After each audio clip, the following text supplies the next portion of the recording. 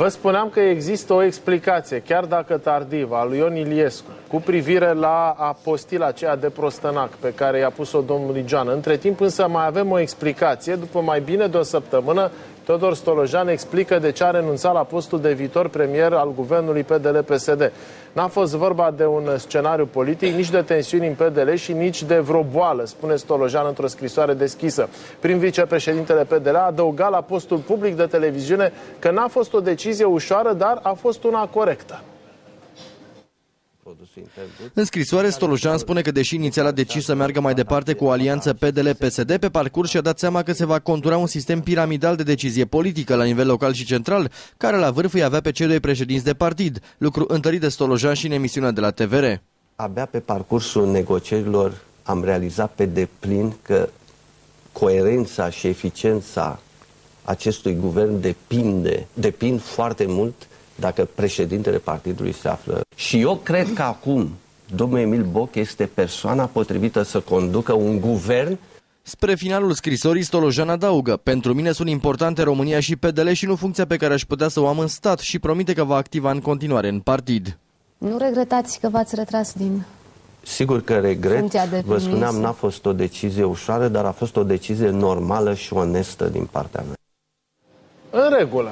Sunt niște declarații, niște explicații. Să urmărim împreună niște imagini. Haideți să le vedem pe ecran.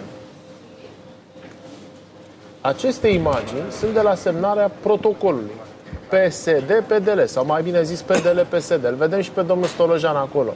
Știa domnul Stolojan și știau cei care au semnat protocolul în acele momente că dânsul nu va fi premier, domnul Ioniță.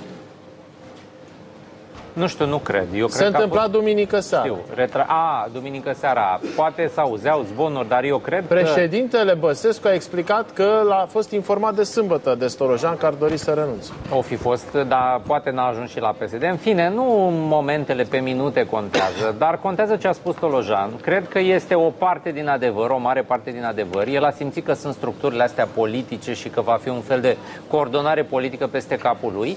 Am mai spus și că n-a avut probleme cu oamenii numiți în guvern. Aici amândoi, cred că a avut probleme totuși cu oamenii numiți în guvern, dar vrea să fie discret acum, să nu creeze probleme suplimentare cabinetului. Și A așa spus să că facă. avea niște oameni în cap pentru uh, posturi importante. Sunt sigur că avea, că, dar e și culmea să fii Asta prim-ministru, ar să fi nu ți aduci tu culmea, un da. ministru, un guvern, un Nu, ceva. dar un întrebarea, consilier. întrebarea este știa sau nu știau cei care au semnat, domnule Prigoană? Duminică seară s-a Nu semnat. știau, cu siguranță nu știau. A ținut secret și Stolojan și Băsescu. Nu, eu cred că după semnarea proto- protocolului a aprofundat tema până a doua zi de dimineață și a avut o revelație. A spus, "Ă, cred că nu e bine să preau actualul guvern atâta timp cât două partide hotărăsc ce vor să facă împreună și eu nu sunt uh, uh, în jocul respectiv, ce rost are să mă duc eu Și să iau știți cum e castane în pentru alții? România. Protocolul e o hârtie. A zis, aia semnăm, vedem noi cu- dacă când a văzut că chiar se iau decizii. Ai, mă gândesc eu că chiar încep să vină miniștri în plic, face aia, face aia, face aia, s-a prins cum o să meargă, așa pe Dar eu partea nu de cred că adevăratele. atunci, să- la momentul semnării, cineva, chiar Știu, eu domnul pun cap- Stolojan știa că... Eu o să îi renunțe. cred pe cei care au semnat protocolul că s-a întâmplat duminică seara când l-am transmis în direct evenimentul și îl mai cred și pe președintele Traian Băsescu care spunea că a fost informat încă de sâmbătă de Stolojan că vrea să renunțe. Prin urmare, dacă îi cred pe amândoi, ajung la concluzia că se știa. Sau nu se știa, domnule Ghiș? Lucrurile sunt pentru mine, unul cel puțin, destul de clare. Este o țeapă a președintelui Băsescu la Palatul Victoria. De Cum ce adică? spun asta? Pentru că vă aduceți aminte că în campanie și la locale, dar mai ales la parlamentare, deși nu candida ca parlamentar, s-a spus că domnul Stolojan va fi premier. Partidul Democrat, în întreaga țară, a pus figura domnului Stolojan pe blocuri de 8 etaje. Stolojan premier. A fost și un concurs la televiziune. Votează premierul. De ce? Pentru că domnul Stolojan a demonstrat la alegeri europarlamentare că are o credibilitate care aduce un scor electoral de aproximativ 7-8%. În plus. Și a- în plus. Și aceste procente erau bune la vremea aceea Partidului Democrat. Și atunci țeapa președintelui Băsescu este că l-a folosit uh, la înaintare pe domnul Stolojan ca să atragă votul pentru Partidul Democrat, după care Mauru și-a făcut datoria, Nu, Mauru asta- poate să Nu, dar moară. nu e corect ce spune Păi, dânsul. da, dar- da, stați să Fiecare termin- are stați dreptul să la termin incorectitudinea opinie. mea. Păi nu, dar a și fost chestiunea numit- este următoarea. a fost, Sta- uh, stați puțin, stați, vă rog, nominalizat. dați-mi voi, lăsați puțin. A, Dar a fost nominalizat. Dați-mi voie, păi tocmai. Și putea Dați-mi ca voie. Vă rog. Dar iar președintele Domnul nostru Prigoană. de Când partid vorbesc, domnul- Să nu se mai dea Deci, dus dacă domnul Constatăm Prigoană, așa. putem Când da vorbesc- drept la replică, când fără vorbește problemă. domnul S-a Prigoană, dat dreptul la replică. Noi îl Vă rog ascultăm frumos. și când vorbesc eu, domnul Prigoană mă întrerupe. Dar nu sunteți corect. Păi, dar lăsați-mă să vorbesc incorrect și dumneavoastră vorbeți corectitudinea dumneavoastră. Deci vă rog să reținem foarte exact. Domnul Stolojan este o personalitate politică cu mult prea multă experiență ca să nu știe domnia sa, înainte de a fi alegerile parlamentare, că dacă vine partidul din care este vicepreședinte la guvern, este normal că două structuri de partid vor avea mecanisme de coordonare și conducere și domnia sa nici atunci, adică înainte de campania electorală nu era președintele partidului, fostului Partid Democrat, ci doar vicepreședinte.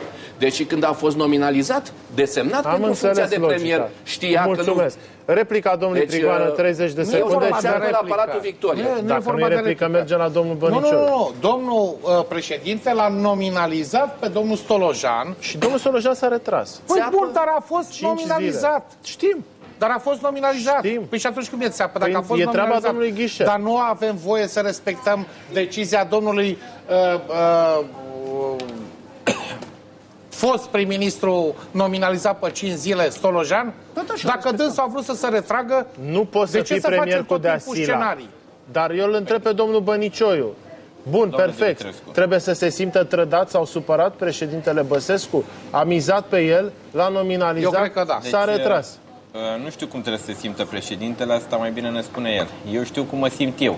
De Cum vă exemplu, simți? ca deputat, ca om care am votat acest guvern și care să știți că mi-a fost destul de greu să-l accept pe Stolojan ca premier desemnat al acestei coaliții. Adică nu cred că și n-am luptat pentru el în campania electorală, ba din contră, uh, vreau să vă spun, contracandidații mei aveau poze cu Stolojan lângă ei, însă am crezut într-adevăr că este un om care va fi corect până la capăt, un om responsabil și un om care, uh, asta m-a mirat în declarația și în scrisoarea domniei sale, am văzut că și-a luat angajamente numai față de PDL, greșit după părerea mea.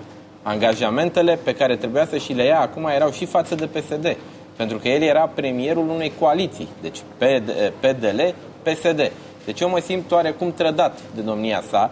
Mi se par motivele pe care le-a precizat acolo destul de uh, superficiale. Domnul eu nu cred Bănicioiu, că alea l-a sunt vrut motivele. PSD-ul sau nu l-a vrut PSD-ul și a făcut presiuni? Domnul Dumitrescu, PSD-ul a vrut un premier PSD. Asta a fost. S-a asta dus a fost din momentul în concluzia- care a semnat protocolul. puțin. Asta a fost concluzia uh, acestei negocieri între noi și PDL. Până la urmă, uh, domnul Stolojan a fost nominalizat, a fost dorința președintelui, dânsul a acceptat de la bun început, știind ce înseamnă și PSD, știind ce înseamnă și PDL, și ierarhie de partid, și structură de partid, și ce Dar la angajamente și-a urma față de urmei, coaliție. de ce atâta... Domnul Dumitrescu, mie de asta vă spun, nu mi se pare sincer demersul lui și uh, textul scrisorii, cred că este dator uh, la niște explicații mult mai concrete. Bun, mergem la domnul Sorin Ioniță cu aceeași întrebare. O fi fost presiuni din partea vreunui partid? Păi, ori l-a dat la o parte PSD-ul, după ce a, ori a fost chemat lui Băsescu dinainte, că nu, sunt două lucruri complet diferite. Ca cineva să fi plănuit de pe timpul campaniei, că nu știu cum, că îl punem pe la pe urmă îl dăm, înseamnă că cineva știa care va fi scorul și că se va face o alianță PDL-PSD după alegeri, ceea ce era destul de improbabil. Eu nu știu cine miza, cine ar fi pariat pe chestia asta în timpul campaniei. Păi Sincer, erau eu- surse. Avea acest Deci vis. această... Cine avea, pe cine avea acest vis? Cine ne-a Că spus eu că, știu că că, e și ma- visul? majoritatea oamenilor visau altceva, erau alte coaliții Dar mai n-are treabă visabile omul cu decât... majoritatea.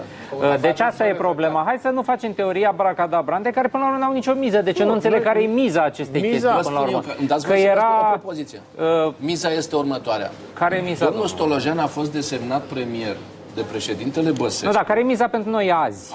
Deci ce e dacă a fost, ce e dacă n-a Nu, fost cine până au la urmă? Păi, domnule Ca Ioniță, să vă nu spun eu se care e facă miza. Care e alianța, concluzia? Vă spun eu. Ca să nu se facă alianța de guvernare PD-PNL. Aceea o fi o Știa miză sigur politică. președintele Băsescu Cum adică că să nu se facă desemnat alianța? premier N-are- domnul n-are Stolojan nicio logică nu ce va spuneți. fi E alianță cu complet- PNL. Cai vers pe pereți, pentru că Domnul, era de-a dreptul jenant cum în Visul prima zi... președintelui Băsescu a spus că Dar e mai și opriți-vă un pic din Mă vorbit. scuzați, dar uh, m-ați întrebat În cum, prima domnule. zi după alegeri era de-a dreptul obscen cu membrii PDL, pupau PNL-ul numai nu vă luau în brațe să vă bage la guvernare. Asta a fost Ne senzația mea de oprim puțin. Miza telespectator. ca Deci, telespectator. atâta vreme când nu știm de ce s-a retras în 2004 și nici până azi n-am primit explicații. Păi știm de Când ce se s-a retras în retrage a